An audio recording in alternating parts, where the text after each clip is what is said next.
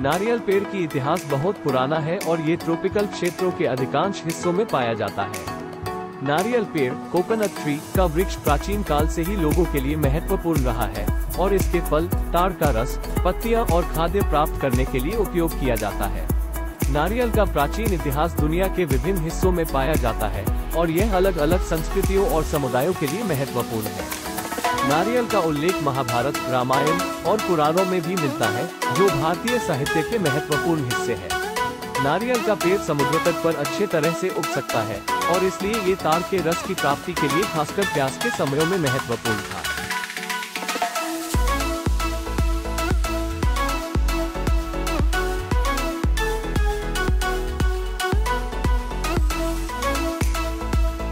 इसके अलावा, नारियल के फल का उपयोग आहार में भी होता है, और इसका तेल भी विभिन्न क्रियाओं में उपयोग किया जाता है।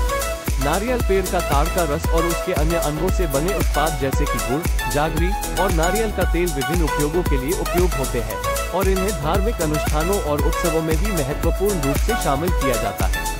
साथ ही, नारियल का पेड़ केंद्रीय अमेरिका के माया संस्कृति में भी महत्वपूर्ण था, और वहाँ के लोग इसका उपयोग भोजन और अन्य उपयोगों के लिए करते थे। इसके अलावा, नारियल पेड़ की लकड़ी भी निर्माण के लिए उपयोगी होती है, और कई संविधानों में इसका उपयोग घरों की छतों के निर्माण में किया जाता है। इस तरह, नारियल पेड़ का इतिहास विभिन्न समयों और स्थानों में उपयोग किया गया है, और यह वृक्ष मानव सभ्यता के लिए महत्वपूर्ण है।